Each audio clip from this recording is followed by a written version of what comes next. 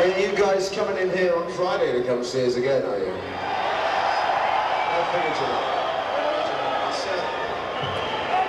It's a funny old thing about Iron Maiden that we've been, we've been touring America for almost 10 years now, right? Coming, coming.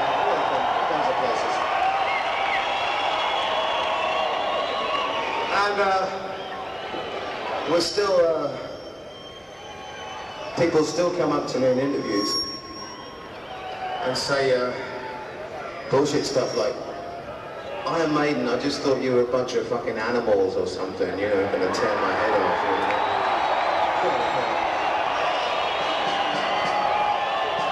Yeah, maybe we will, maybe we won't, you know, it's just one of those days, you know. I mean, the, the, the strange thing is we've always, we've, well, we've never really been that fashionable. You know what I mean by fashionable?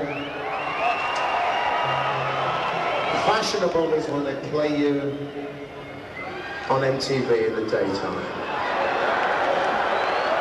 Fashionable is when you appear on the fucking Arsenio Hall show.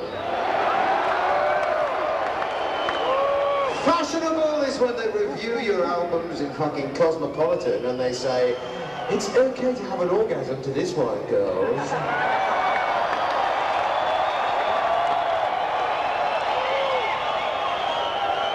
Fuck fashionable, we just like to wave our dicks in people's faces. This is a song called No Prayer for the Dying. Thank